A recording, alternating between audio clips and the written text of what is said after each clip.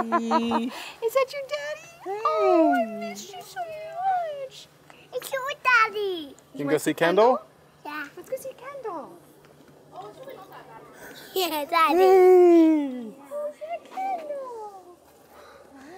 Ew. What? Her slobbers got all over my arm. Is that your sissy? It's your tight. I missed You you so you tight. much. You tight. Is that your sissy? Turtle. Turtle. Hey, sissy did Is that. that sissy? It's, it's turtle. Oh, it- It's your daddy. It's daddy's way. Hi, I missed you. It's your way. Yeah, that's my truck. But this is our car. Mommy to wear. It's mommy to wear. Hey, what's up guys? Welcome back to another video. We are finally home. We finally made it back home as you just saw from a couple of crazy weeks in New York where we came back with Officer Kendall. We've been home for a couple days now and it is Kendall's 10th birthday today. Happy birthday to Open your eyes. You. Happy birthday to you. Happy birthday, dear Kendall. Happy birthday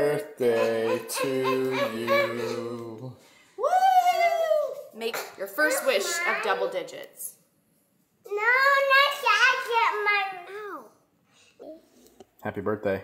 Thank you. Happy birthday to me. Now, I realized in the last couple of videos there's some information that I don't think we got a chance to really touch on or we didn't know about at the time, and now we have some more information. Uh, so that's exciting, and I'll catch you guys up on that stuff. Uh, the bad news is that Kendall and I are getting ready to hit the road again and go back to the hospital.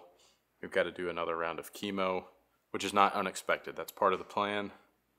But we've got to get to the hospital. Ooh, are we doing hair? Did you miss us, Hannah, while we were gone? Yeah, we missed you too. Mommy was scared. You. Mommy was scared you were gonna forget about her. That would never happen, right? And Cameron held it down while we were gone. She was like the woman of the house, holding it all together, keeping everything in line. Did you miss us? Yeah. A lot. But was it exciting to not have mom and dad for a few weeks? No, I'd rather have y'all here. Good answer.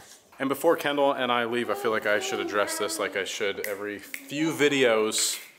Yes, Kendall has a mother. As beautiful as, as beautiful and gorgeous as she is, she just doesn't like being on camera. So, Are people still asking that? uh, from time to time, yes. Here she is. You guys saw her in New York. She's here. She's going to stay home this week while I take Kendall to the hospital for his chemo treatment. But here she is, alive and well and with us every day.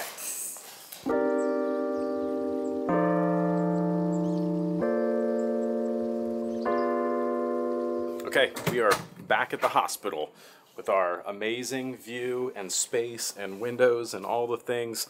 Um, what's nice about doing chemo this week, not that there's anything ever nice about doing chemo, but uh, this is the first time we're getting to do it outpatient, which means we don't have to stay the night here. We're not admitted. Uh, we are staying at a hotel nearby, which just makes it a lot easier. We get to go leave the hospital for the night and we'll come back tomorrow to continue. But it was so nice to get here and we ran into all of our favorite people as we arrived this morning and a bunch of our favorite nurses and you know the doctors and everyone just loves Kendall so much. It was like lots of big hugs and checking on Kendall and getting the story from New York and they, they follow the YouTube videos as well. So um, it was just exciting to get back and kind of like see all of our people. So, like I just mentioned, uh, chemo this week is outpatient. It's a mild chemo. She's done this chemo before. She actually responded really well to it, but there's so many things to update you guys on as it relates to what's happening that I sort of alluded to earlier, like details we glossed over and all that kind of stuff. So, when we get back to the hotel this evening, I'll get you caught up on all the things. How are we doing today, Kendall? Good. Feeling all right? Good. Chemo's done for the day. How's your tummy? You feel nauseous or anything? Good. What else is going on? Mm, I'm playing Minecraft. Yeah? Yeah. Good. You got a joke for me today? Knock knock. Who's there? Little old lady. Little old lady who? I didn't know that you could yodel. little little lady. Good one.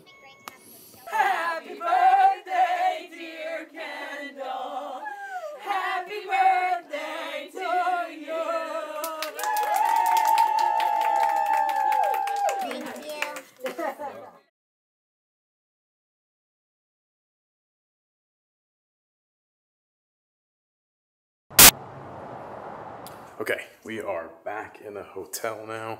I just put Kendall to sleep. um, so we are now on day three of doing chemo, and as the days goes on, uh, it's kind of taking a toll on her more and more. Even though it's still pretty mild, she's definitely getting pretty nauseous, and she's been getting sicker and sicker uh, each day, throwing up a little bit more and more, which is kind of a bummer. But in theory, in theory, this is the last time she'll ever have to do chemo. So let's kind of let's pick up on a lot of the details, things that maybe I glossed over previously, um, and then kind of tell you what we got going on next. First of all, I don't think I did a very good job of explaining and articulating like how amazing and how much of a miracle it was for Kendall to be able to get that surgery that she had in New York. Um, I think I sort of just glossed over it, but this is something that was potentially life saving for her. Um, getting all that stuff out of there and stuff that three or four other surgeons said is a inoperable thing. Like you cannot go in there and remove this.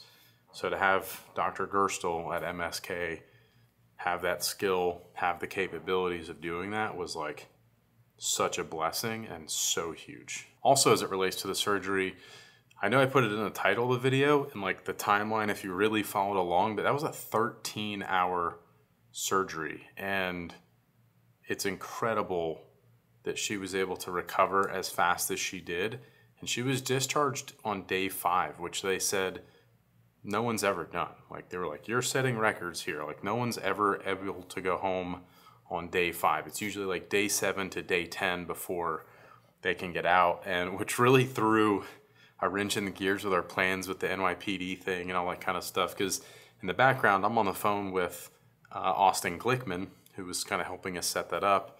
And they were going to come to the hospital, and then we were getting discharged early, and all. It ended up working out great because we were able to go to the headquarters versus some of them coming to the hospital. So it worked out really great, but it was like logistically, it got kind of crazy behind the scenes trying to work all that out. Now, the big news is that we got all of the pathology reports back from surgery. So everything they took out and removed, they sent off to pathology.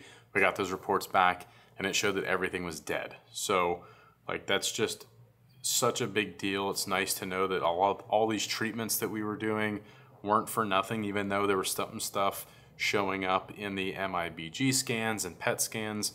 Uh, the liver lesions, all that stuff was actually dead. So it's just weight off of our shoulders knowing that not only was all that stuff dead, but now it's all been removed. So the likelihood of it coming back is like that much less. And the chemo that we're doing now is really intended to just sort of clean up anything microscopically that may be left behind. And same with the treatments we have coming up. And, you know, this treatment that we're doing is part of the plan. It's not unexpected. And surprisingly and fortunately, that we actually have a plan now. So, speaking of the plan, after this, we move on to radiation. Now, Kendall is going to do proton radiation opposed to uh, photon radiation. And proton radiation is, I don't want to say less harmful, but it's a different style of radiation. And they're able to use it, it's more direct, it's more, uh, what's the word I'm looking for? It's more precise. Um, it will go into her body and into the area that they want to radiate. So in, in her case, it's going to be mostly the original tumor bed area and a few things like that. But you, they program it to hit that spot and then the radiation stops there versus old school photon radiation that hits that spot and then passes through and exits your body. So it's hitting all of the tissue uh, on either side that maybe you don't want to radiate. So for her, that means they'll go in through her back and they'll hit all this stuff that's in her back and in the kidney area that was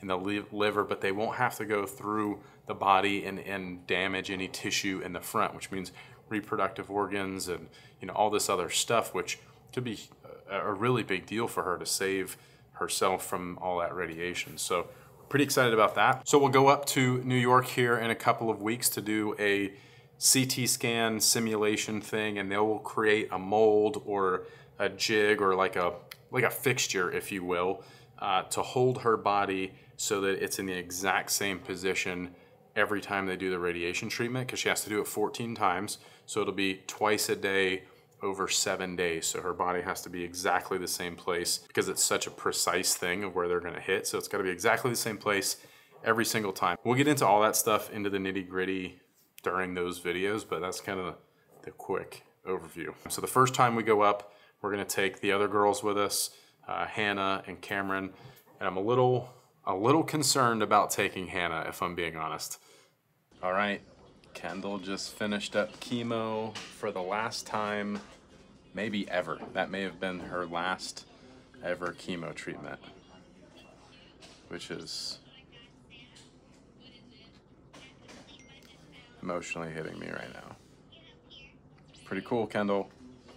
Excited? How's it make you feel? Yeah? You've done such a good job. We still got a little ways to go and some other stuff to do, but you're kicking butt. Proud of you. It's funny, we've been talking about it this week as if like this could be the last time, but it didn't really hit me till just now that she could be done with that. Like I said, we still have a little ways to go, some other treatments to do, and some more immunotherapy and radiation and that sort of thing, but like, it's pretty cool. Gives you like a little light at the end of the tunnel, you know?